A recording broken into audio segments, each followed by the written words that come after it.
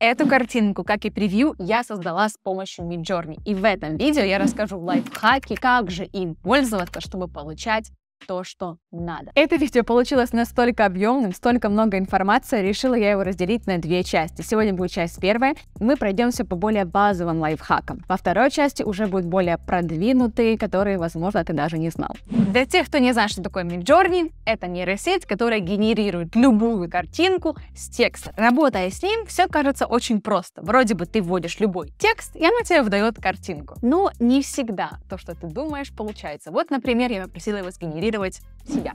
Да, это программа. О программе нужны четкие инструкции. Я буду рассказывать от самых простых. Дальше мы будем доходить до более таких прикольных лайфхаков, которые я находила. Поэтому смотри до конца. А в конце я расскажу, кстати, как получить бесплатные часы от Midjourney. Если ты не пользовался Midjourney, то тут все очень просто. Мы заходим на сайт, с сайта мы переходим на Discord, мы здесь авторизируемся, и ты уже здесь заходишь в Newbies, и в принципе можно уже начинать. Перед тем, как начинать, тебе нужно будет подтвердить accept those. Все, как только ты подцепил, ты можешь уже писать slash imagine выливается какой-нибудь промпт, и дальше ты пишешь, что ему нужно представить. К примеру, собаку. И уже ждешь, когда оно тебе сделает эту собаку. И если ты первый раз запутался, что здесь столько картинок и как найти свою, то ты можешь ее легко найти здесь в почте. Будут для вас упоминания. И вот здесь тебе генерируется твоя собачка. Как ты видишь, когда ты даешь просто какое-то слово, у него включается своя же фантазия, оно тебе генерирует любую собаку, которую только хочешь. И после того, как картинка готова, здесь уже есть you,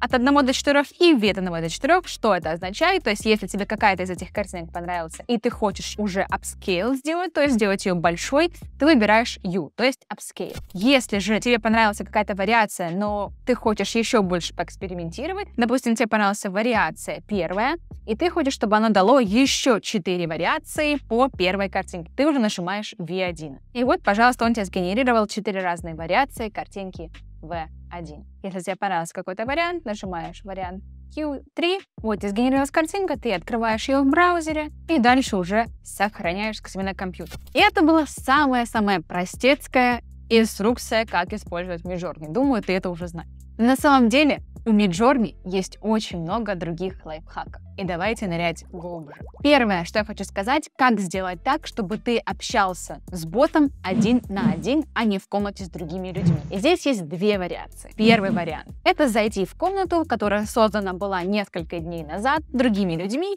Соответственно, шанс, что там уже ее никто не использует, очень велик. И ты там будешь, по сути дела, как бы один на один. Как это сделать? Ты заходишь в веточку, и здесь, вот видите, очень много разных веток, которые были созданы. Одну минуту назад, 6 минут назад, 48 минут назад, 14. Нас интересует несколько дней назад. Мы находим веточку, вот, пожалуйста, два дня назад. Все, здесь уже больше никого нет. И считай, ты можешь ее использовать как бы наедине с ним. Нажимаешь Imagine Prom и дальше себе работаешь. Как видишь, здесь уже никого нет. Второй вариант — это загрузить бота к себе в сообщение и как бы общаться с ним в личку. Как это сделать? Для этого создаешь сервер, свой шаблон для меня и друзей. Вот здесь вот мы нажимаем, допустим, YouTube. Создаем. Все, сервер создан. Теперь мы переходим в Midjourney обратно. Мы нажимаем на человечков, нажимаем на Midjourney бот, Нажимаем «Добавить на сервер». Здесь мы выбираем сервер YouTube, продолжить, пролистываешь, авторизовать. Пожалуйста, авторизован. И теперь ты переходишь к себе на YouTube, и он у тебя уже здесь. Ты нажимаешь Imagine, и все. И ты общаешься один на один с Midjourney. Здесь есть такая поправочка. То, что ты общаешься с ним в личке, не означает, что другие ребята не видят твои фотографии. Нет. Они по-прежнему их видят в каком-то из серверов каких-то из комнат, просто ты уже не видишь других. Это очень удобно. Если ты не хочешь, чтобы твои работы видел, то это более платная версия, ты нажимаешь платную версию и нажимаешь Private Mode, и все, твои картинки никто не видит. Это мы выяснили, теперь можно работать спокойно. Дальше, перед тем, как мы начнем, нужно его настроить. Нажимаем Slash, нажимаем Settings, Enter, и он тебе выводит разные вариации. Я сейчас объясню, что это означает. Первое, ну, конечно же, какие версии Midjourney. Сейчас самая новая версия 4, поэтому выбираем, конечно, 4. Если тебе нужно аниме, то это ты уже выбираешь Niji Mode, и там тебе будет выдаваться аниме. Дальше, следующее MG Test, MG Photo. MG Test будет давать такие более креативные, более смешные картинки, да. MG Photo это более реалистичные фото. Half Quality это половина quality, Base Quality как бы на серединке. И, конечно же, очень хорошее качество. Это будет у нас High Quality, но он будет забирать у тебя в два раза больше очков. То есть ты уже не сможешь генерировать так много бесплатных картинок, нежели ты бы смог бы в базовом качестве. По стилистике все понятно. Если стилистика style low, то это означает, что у него будет больше фантазии, так скажем, он будет больше экспериментировать. И, соответственно, style very high, он уже будет более такой консервативный. Дальше regular upscale, light upscale, beta upscale. Это качество изображения. И дальше по последнему, то есть public mode это публично, да, stills mode это не публично, то есть приватно. А remix mode, кстати, добавляем remix mode, это всегда очень прикольно. И потом покажу, как это использовать. То есть ты можешь на сгенерированную тобой картинку нажимать, чтобы он ее изменил поменял. Fast Mode будет тебе быстрее генерировать картинки, а, но за это оно забирает у тебя больше очков. Все, с настройками разобрались. Дальше. Когда начинаешь работать, особенно это касается тех, кто не знает художественных терминов, не знает там кинематографических терминов, но хочешь сделать картинку, конечно же, очень круто и профессионально. Я поделюсь несколькими сайтами, которые закроют абсолютно все возможные описания, которые только могут быть. Ну, по крайней мере, большинство уж точно. Первый сайт от Midjourney. Чем его плюс? Плюс в том, что это промпты, то есть подсказки о самом Midjourney. Все промпты, которые здесь есть, автоматически там уже встроены в этом Midjourney. Соответственно, он их понимает лучше всего. К примеру, если ты ведешь Keynote Type, то, скорее всего, картинка 99% будет вот такая вот, примерно в таком вот стиле. Да, если же ты что-то с головы себе придумал, какой-то промпт, возможно, Midjourney этого не поймет. Да, то есть, конечно же, лучше использовать те характеристики, которые в нем уже встроены, которые он хорошо понимает. Здесь очень круто показаны примеры на котике, поэтому смотрим, да?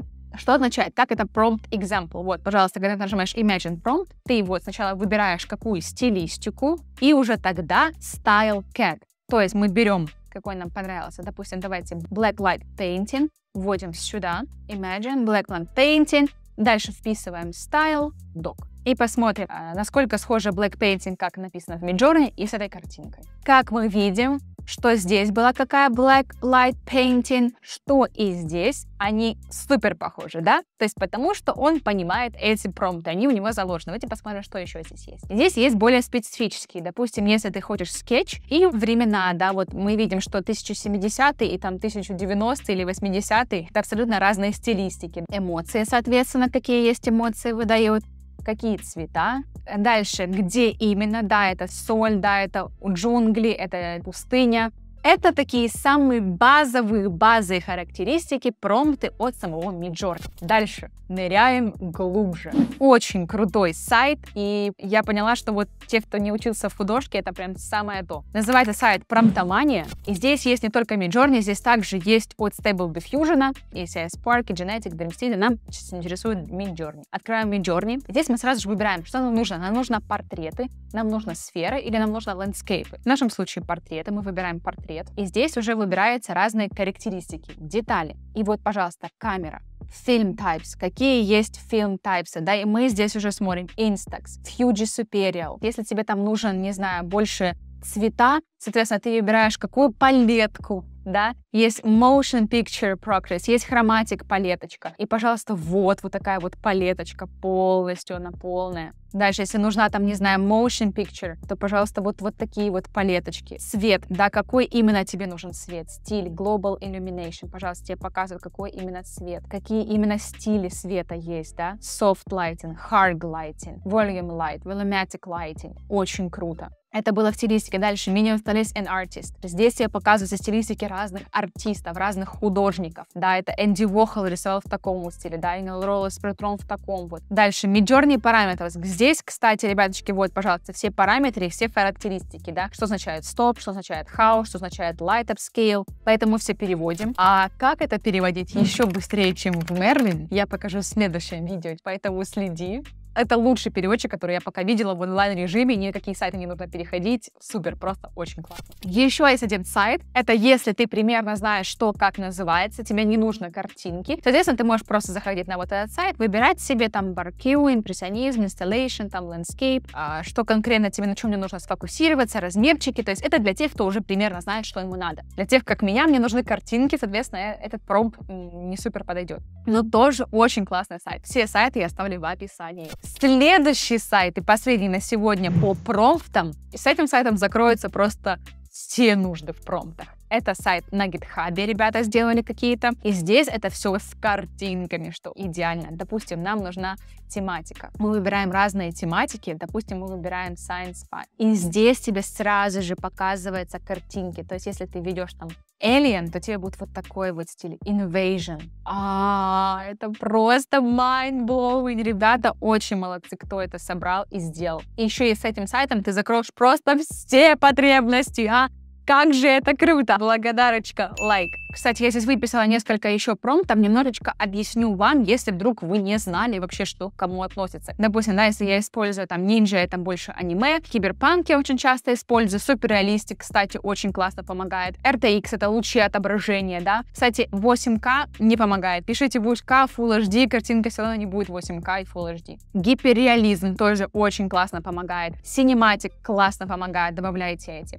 Color grading это чтобы по цвету все было очень красивенько, да.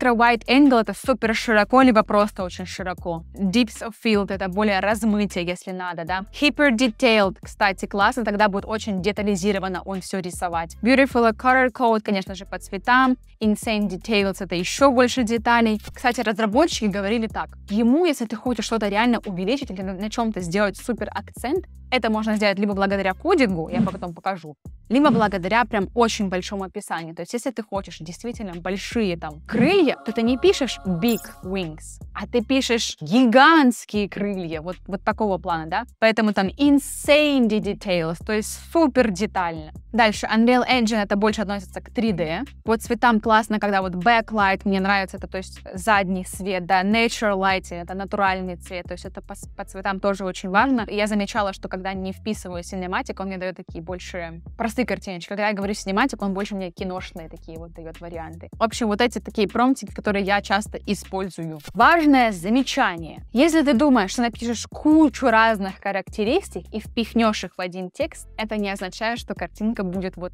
максимально полная, максимально с полными твоими характеристиками. Нет. Оказывается, работает по принципу наоборот. Чем больше слов, тем меньше веса каждая из них имеет. Соответственно, тем больше он не понимает, на чем ему нужно сконцентрироваться, и он будет сам выбирать, что конкретно он покажет тебе. Следующее. Мы поняли, теперь мы зарегистрировались, мы одни, мы уже знаем все подсказки, и теперь по структуре как раз пройдемся. Как у чата GPT, как и у других любых аишек, роботов, ботов, кодов, они понимают, когда есть структура. Если эта структура разбросанная, он тебе не будет понимать, что тебе выдавать, потому что у него заведено. Первое должно быть, там, если это есть картинка, то картинка должна быть первая. Следующее, что конкретно ему нужно представить уже сам промпт. И следующее — это параметр. То есть вот так вот должна выстраиваться структура. Вот так он понимает очень классно. Следующий лайфхак. Кроме того, чтобы дать ему понять, на чем ему сфокусироваться, тебе также нужно понять, на чем ему не фокусироваться и что ему не нужно добавлять. К примеру, если ты хочешь природу, но ты представляешь эту природу без дерева или без воды, мы в конце добавляем no sky, no sea, no tree. Это очень важно. Тогда он просто не будет это добавлять. Здесь я также выписала это прямо целым Midjourney по структуре. То есть у нас есть subject, это человек, это животное, это character, это какая-то локация, что-то определенное. Дальше медиумы, то есть это что именно? Это фото, это картина, это иллюстрация, это скульптура. Дальше environment, э, какое окружение, это дома, не дома, на луне, в нирване, под водой и так дальше, да, какой свет, какой цвет, mood, composition.